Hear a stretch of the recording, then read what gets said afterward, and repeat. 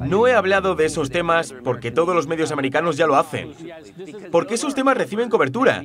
Y yo me he pasado la vida hablando con gente en varios países que ha llegado a la siguiente conclusión. Que todo líder mata, incluido el mío, todos. Todos los líderes matan. Algunos más que otros. El liderazgo requiere matar personas, lo siento. Por eso no soy líder.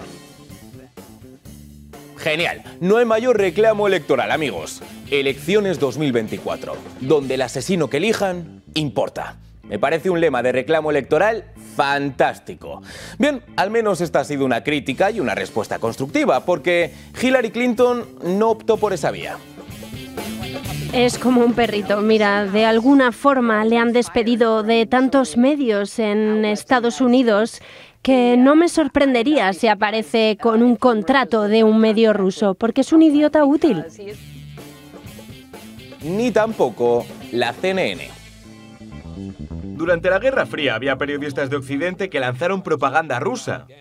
Se les llamó idiotas útiles. Pero llamar eso ataque es injusto. Para los idiotas útiles.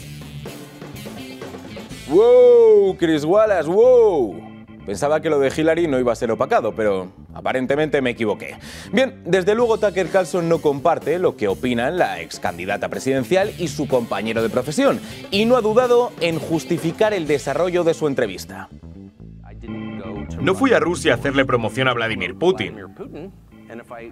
Si quisiera hacerlo, lo diría. Fui porque creo que la mayoría de los estadounidenses no saben realmente lo que está pasando. Ni saben nada sobre este tipo con el que supuestamente estamos en guerra. Y mi trabajo es darle información a la gente y que ellos decidan.